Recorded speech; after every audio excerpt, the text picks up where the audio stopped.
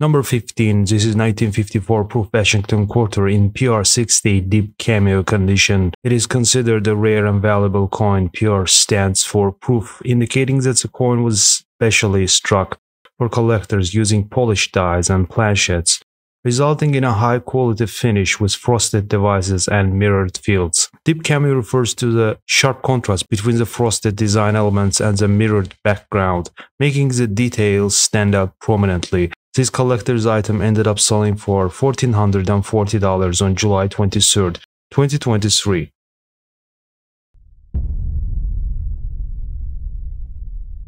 Number 14 here is undated Sacagawea dollar with very peculiar mint error. Coin is double struck, second strike significantly off center, creating duplicated image of Sacagawea's baby and right half of her bust. Some iridescent hues are evident at borderlines of both strikes. Graded in mint state 65, this gem was sold for $1,920. Number 13, moving on with his 1937 Washington Quarter in MS67 Plus condition. CAC proven superb gem with 90% silver content and attractive tones around the lower and upper flanks. Additionally, the CAC label indicates that the coin has been verified and approved by a Certified Acceptance Corporation, an independent company that evaluates PCGS and NGC graded coins for quality and originality. CAC approval adds to the coin's desirability and market value. It was sold for $2,040. Number 12, 1971 Jefferson Nickel was missing mint mark S. Great SPR 69 Cameo by NGC, a valuable and sought after coin among collectors. No S variety refers to an error in which the San Francisco Mint failed to add the mint mark S. This occurred during the production of proof coins, which are specially made for collectors with polished dies and planchets to achieve a mirrored finish with frosted devices. This gem fetched a sum of $2,100 on July 23, 2023. Number 11, 1936 Proof Lincoln Cent was brilliant finish, graded as PR66 red by NGC. After a two-decade hiatus, Proof Lincoln production resumed in 1936. Proof struck early in the year had a satin finish, while later in 1936 a brilliant finish was implemented. The fields displays a mirrored surface, familiar to modern collectors though without cameo frost on the portrait. Spot-free specimens, such as present coin, are elusive, particularly with attractive rose red and sea green hues. It was sold on July 21, 2023 for $2,640. Number 10. Here is 1941 D Jefferson Nickel in MS68 condition with 5 full steps on reverse. The 1941D, like many Jefferson nickels, is plentiful in general, however, it becomes a major condition rarity in the higher full steps grades. This enchanting example displays pristine mint luster cast in a delicate iridescent toning. The strike is sharp and neither side has a single notable abrasion. It ended up selling for $3,000. Number 9. Here is 2018 P Roosevelt in MS60 condition. An error coin struck on 98% iron foreign planchet. A clad dime has an expected weight of 2.27 grams. A predominantly steel planchet, presumably made for a coinage in an unknown foreign country, ended up between Roosevelt dimes. As one might expect from an undersized planchet, the strike is soft at the borders and centers. The gunmetal gray and olive brown surfaces are smooth except for a few hair-thin obverse marks.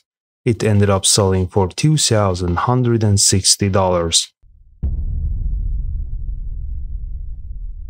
Number 8. A registry grade example of Washington quarter, 1960 quarter dollar in MS67 plus condition. This is a condition census example of the 1960 Washington quarter being tied with or other plus graded superb gems for the second finest at PCGS. Expectedly, satiny luster characterizes each side with lemon gold border toning and a few russet flecks The strike is sharp and neither side exhibits bothersome abrasions. It was sold for $3,000. Here is vividly toned 1966 Kennedy half dollar graded in mint state 67 plus by PCGS. The regular issue 1966 Kennedy half dollar is scarce in MS66 and rare any finer.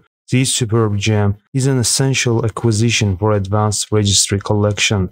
The strike is bold throughout and the surfaces yield undisturbed satiny luster. Both sides show large areas of crimson violet, spruce green, and sun gold toning. It was sold for $4,320. Number 6, 1968 S. Lincoln cent struck on a Costa Rican 5 centavos planchet impressed into obverse of a cent planchet. According to Numista, 4.84 million Costa Rican 5 centavos were struck at the San Francisco Mint in 1968. Those coins were dated 1967 and struck in stainless steel with weight of 0.875 grams and a diameter of 14.92 millimeters. Bronze Lincoln cents have a statutory weight of 3.11 grams, thus a combined weight of a bronze Lincoln cent and a 1967 Costa Rican 5 centavos should be 3.88 grams, similar to the weight stated on the insert. A Costa Rican 5 centavos planchet inadvertently ended up in a bin of cent planchets and was fed together with a cent planchet between 1968 S cent dies. This rarity was sold for $6,300. Number 5. 1942 D Washington Quarter in MS-68 condition. The Washington Quarter struck prior to the mid-1990s are common in MS68 PCGS holders, the 1942D is a good representation of rarity of these coins, surviving the extent of just 6 coins in this grade at PCGS with another 4 at NGC. According to Heritage, this example displays near flawless satiny mint luster and a bold strike. Original multicolored toning adorns each side. Sold on July 21, 2023 for $6,300. Another vividly toned quarter dollar 1951 S Washington quarter in MS68 condition. These San Francisco issues fundamentally similar to most other Washington quarters of 1950s, being common in just about any grade desired. Yet it is also similar to many other dates in that it is conditionally rare in the top grade of MS68, the grade most desired by serious registry collectors, and grade most infrequently seen.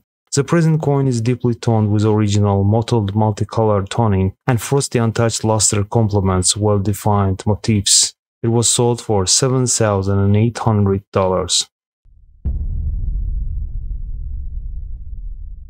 Number 3, 1942 Mercury dime struck on Ecuadorian 5 centavos planchet, graded in MS62 condition with full bands by NGC. A well-centered wrong planchet strike showing some weakness around the portions of the rings where the planchet failed to fill the dies, but generally sharp throughout the interior with excellent full bands definition. Each side has uniform olive brass and golden orange hues with satiny luster. Minimal abrasions are seen. Sold on July 20, 2023 for $11,400. Number 2. 1940 Jefferson nickel was reverse of 1938.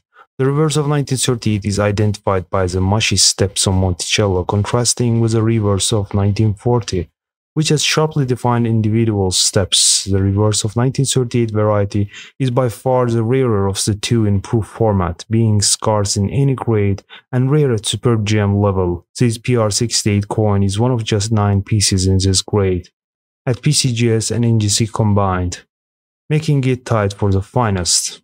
It was sold for $11,700 on July 20, 2023.